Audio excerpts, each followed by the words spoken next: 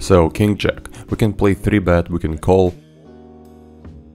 We'll probably play by calling. We're playing a huge multi-pot with a bunch of people. 3-3-4 in a 5-way pot.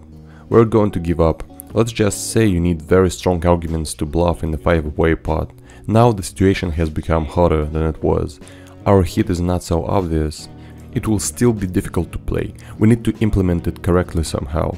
We will most likely fold to a check raise. It will depend on who check raises and with what size, but I think we need to bet. In a 5-way pot I don't want to let my opponents realize their equity. Oh damn, the problem is that Mr. Romashka would often bluff his draw on a turn himself. In fact, the check shove looks quite strong. It might be a bad fold, but I'll fold. It seems to me that we will run into slow play too often. Yes, sometimes I have the best hand here, but overall there are two opponents. Yes, okay, I'm glad I threw away.